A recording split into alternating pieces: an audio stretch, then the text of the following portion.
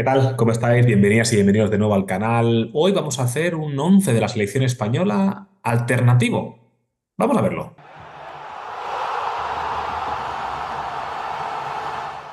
Bueno, ahora que saca lista otra vez eh, Luis de la Fuente, que ya quedan pocas fechas FIFA antes de esa Eurocopa que se viene el, año que viene, en 2024, pues bueno, pues sabéis que aquí en España hay 50 millones de seleccionadores yo no me resisto ¿no? a ejercer de él también, porque es un derecho ¿no? constitucional poder eh, dar tu propia lista y convocatoria de seleccionables para el combinado eh, nacional, pero en este caso voy a traer un once alternativo. ¿no? Es verdad que el once de, de la Fuente está bastante claro, es bastante estanco, no parece que vaya a haber grandes sorpresas en la convocatoria, sobre quizá una o dos pinceladas, pero yo os traigo un once alternativo de, de, este arranque de temporada que a mí me está gustando mucho, ¿de acuerdo? Y quiero ponerlo encima de la mesa porque probablemente de estos casi ninguno o ninguno, o quizá alguno, uno o dos puedan ir en alguna convocatoria eh, importante de la selección, pero lo normal es que no vayan porque los puestos ya están ocupados. Pero no por ello hay que dejar de darle valor a futbolistas que tienen menos nombre, pero que están dando un rendimiento sensacional. Alex Remiro, bajo los palos, el portero de la Real Sociedad, se está exhibiendo tanto en Liga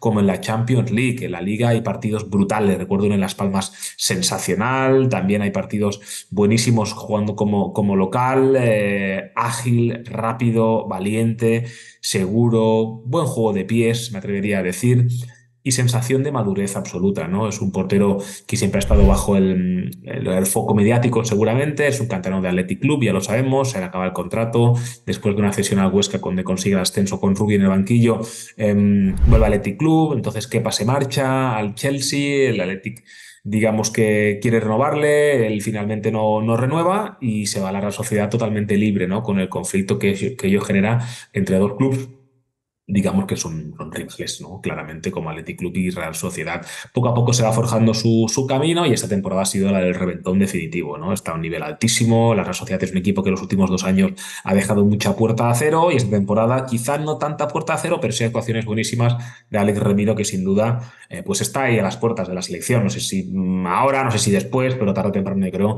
que lo va a conseguir porque su rendimiento está siendo buenísimo tanto en Liga como, insisto, también en Champions League. Sector derecho, Oscar de Marcos, cuidado, estaba mirando, fue convocado una vez en la temporada 2014-2015 y no jugó con la absoluta ni un solo minuto el jugador de Athletic Club. Este verano se decía de si iba a seguir, si no, él mismo expresaba sus dudas, pero la realidad es que está funcionando muy bien, está funcionando bien por esa banda derecha, está llegando mucha línea de fondo, lleva tres asistencias de gol en liga, si no me fallan los, los cálculos, es un jugador importantísimo, arraigo tremendo con el equipo, 500 partidos ya con la camiseta de los Leones, por lo tanto un jugador eh, bueno, pues, pues, referente para, para el club eh, de Bilbao y eh, referente absolutamente para Ernesto Valverde, en ese sector derecho donde esa capacidad de ida y vuelta, esos pulmones, esas piernas que tanto nos eh, sorprendieron y nos emocionaron cuando Bielsa era entrenador, pues ahora la réplica con Valverde, así que de Marcos al once titular de esa selección española alternativa. Eje de la zaga es la defensa del español que llega a Europa con Rubi como entrenador. David López en el sector derecho, en este caso en el Girona,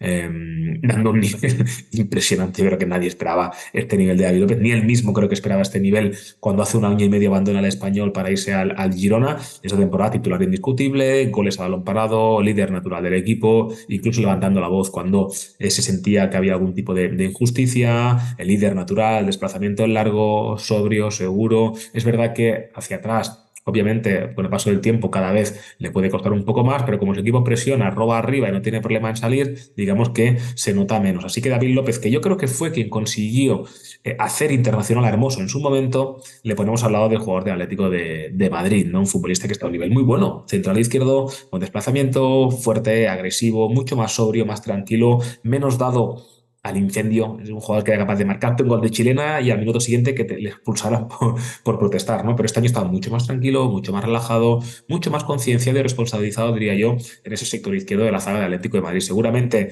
en defensa de cuatro como lateral o casi siempre en defensa de tres como central izquierdo. Reinildo está, entiendo que cerca de llegar. Vamos a ver cómo se disputa esa posición que va a ser interesantísima ver la competencia con el futbolista mozambiqueño, ¿no? Pero ahí Hermoso está dando un nivel buenísimo y fantástico. No está yendo a la selección en la la llegada de Lenormand seguramente pues le, corta el, paso, pero su nivel es muy bueno y hay que decirlo con todas las letras. El día internacional, veamos si consigue volver al 11 momento. En nuestro 11 es, está Alejandro Grimaldo, Ale Alejandro de Lady Gaga, le cantan al futbolista del Bayern Leverkusen en las gradas eh, del Bayern. ¿no? Em, a ver, es un jugador eh, de mucha calidad, de mucho recorrido, canterano del Barça, se marchó a Portugal, lanzador de faltas impresionante, calidad, llegada. Le leí una entrevista hace poco diciendo que su sueño era jugar con la selección española. Es verdad que tiene a Gaya y tiene a Valde, ¿no? Eso le dificulta muchísimo el, camino, pero es un jugador potencialmente para eso. ¿eh? El, el, Leverkusen está volando en la Bundesliga, está jugando de maravilla y Grimaldo tiene mucho que ver en esto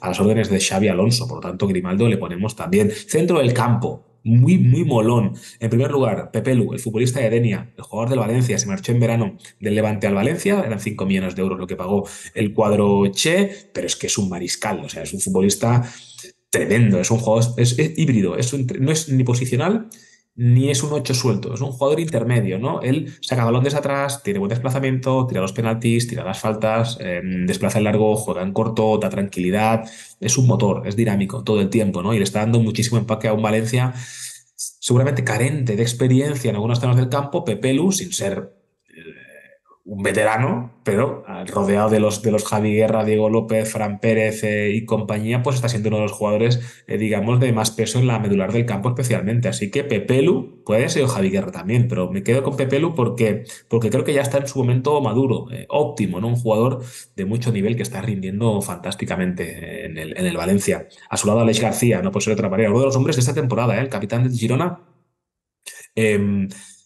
Máximo acierto en pases largos, desplazamientos en largo, eh, acierto espectacular, 11, 12, 13 desplazamientos en largo por partido, cambios de orientación, cambios de banda, buscando que a Sabiño y a Sigankov especialmente en los costados. Una Lesh que tiene que lidiar con ese mm, volcán táctico que es Mitchell, ¿no? Los laterales, eh, ya sea Couto, ya sea Arnau o ya sea Miguel al otro costado, se meten mucho por dentro, ¿no? Y eso a Lesh hace que tenga que saltar de su zona habitual para ir a buscar zonas en las que recibir y, salir. Ese giro un equipo que sale generalmente con tres, no le importa que el rival le apriete con tres porque siempre encuentra el camino para saltar la línea, ¿no? Lesh un poquito más de control, Yangel Herrera mucho más llegador ida y vuelta. Así que Alex García le tenemos también en este once titular alternativo de la selección española. Por delante de ello está jugador como Francisco Alarcón Isco. En este once de jugadores o que hace tiempo que no van o que nunca han ido o que fueron una vez de manera esporádica, ¿no? Y Francisco Alarcón Isco es uno de ellos, ¿no? Hace eh, años ¿no? que no está la selección. Recuerdo que con Lopetegui era jugador